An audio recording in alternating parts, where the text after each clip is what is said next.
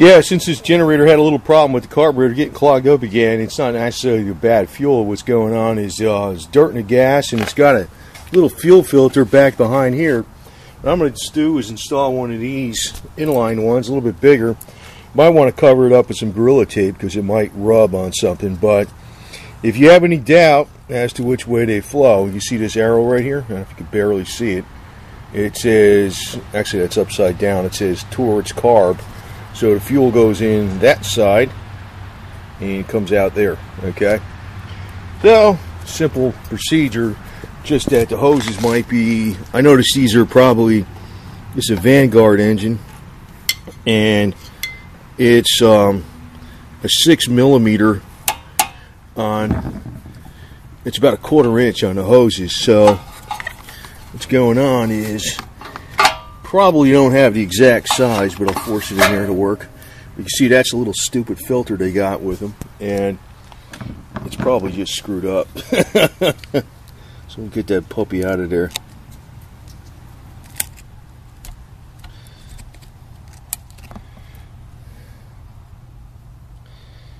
Anyway, doing this one-handed here.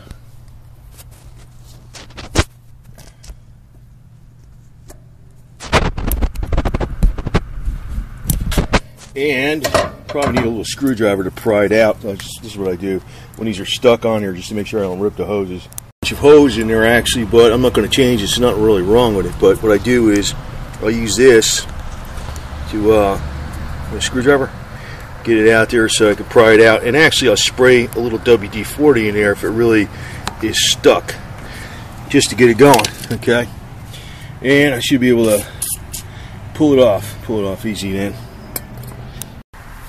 Now I know a lot of people know about hey you install an inline filter no problem right? Easy. Um, and it's got the direction marked on it but the other thing is if you're reusing the old hose I always reuse like old stuff if it's still good. The part that gets most screwed up is the end. Even though I didn't screw up the end on this that's the part that was under compression. So if you got a little I always when I like if this is the factory hose but when I install a hose I always give it little more length because I can always cut the end off. That's usually the spot that gets screwed up. And to put this on, this filter is just a slight amount bigger than that one, right? You can see. And I could still get it on here. Now, some people would take WD-40 to get, you know, the lube in here or something like that.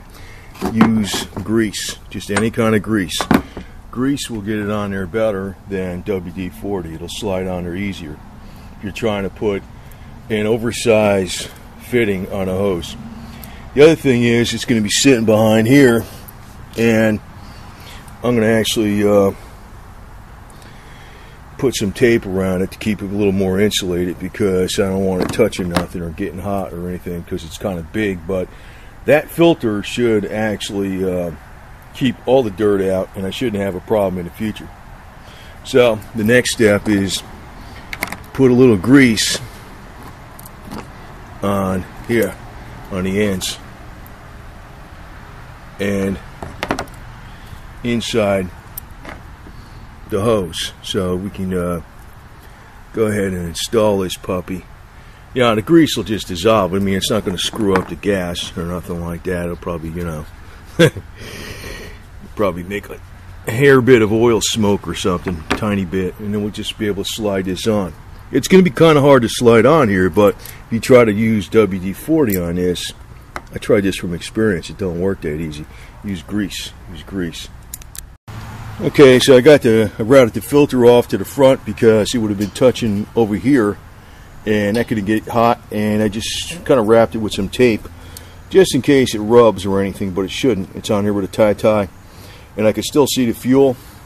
Turned out the carburetor clogged up again um, because when you fill this stuff up with cans, gas cans, sometimes on the bottom of the gas can there's some crap and I guess it's on the bottom of the fuel tank and this filter is not working at all so that filter should work fine so I cleaned out the carb again just took the bottom off blew out the needle valve um, just took a, a hose like this stuck it on the needle valve on the car, blew it out, sprayed some WD-40 in there, blew it out again, and seems to be getting plenty of fuel in here now. You can see it. You can see it down in there. So, pays to be ready for this shit. So, it should work now.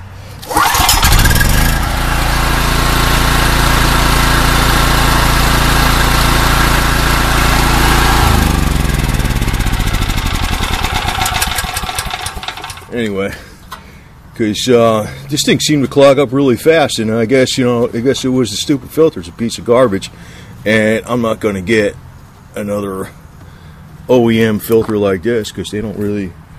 They're designed to kind of fit in the space behind here. I'm like, screw that. I get a big jobber.